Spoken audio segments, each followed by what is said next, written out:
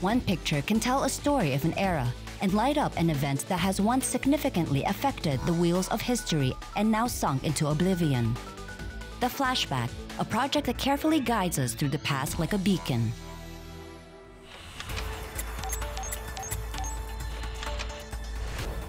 1995, the European Union has expanded to include Austria, Finland, and Sweden. After a 10-year restoration, the famous Tretyakov Gallery has reopened its doors in the Russian capital. American entrepreneur Steve Fossett has become the first man in history to cross the Pacific Ocean in a balloon.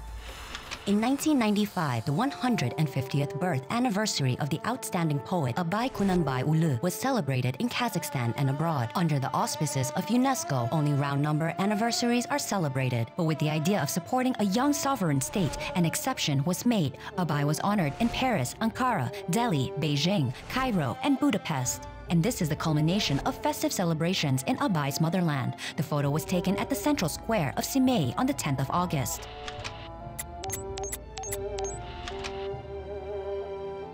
Federico Mayor, Director General of UNESCO, along with other foreign guests, were discovering the culture and traditions of the Kazakh people. In Semey, a new building of the Abai Reserve Museum was erected, 180 kilometers from the city in the Zhidebay tract, where the outstanding philosopher lived in his last years. A number of buildings were renovated and touristic infrastructure was developed. On the 11th of August, a memorial complex dedicated to Abai and Shakarim was unveiled in Zhidebay. Thousands of people gathered at the event. Many of them, despite the heat, walked to the place.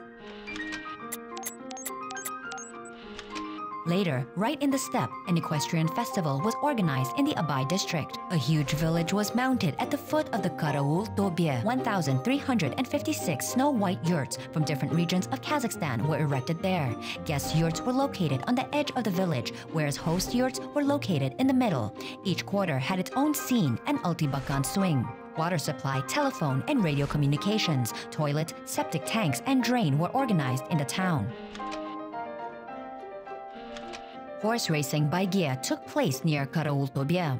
Some horsemen participated in national games. Wrestlers competed on the stage. Aityskers, improvisational poets, and other artists performed for the public. More than 70,000 spectators gathered at Karaultobie in those days. Thanks to the celebration of Abai's birth anniversary under the auspices of UNESCO, the Republic gained priceless experience in international events conducting, increased its prestige, and introduced the Kazakh humanist and enlightener to the cultural community of the world.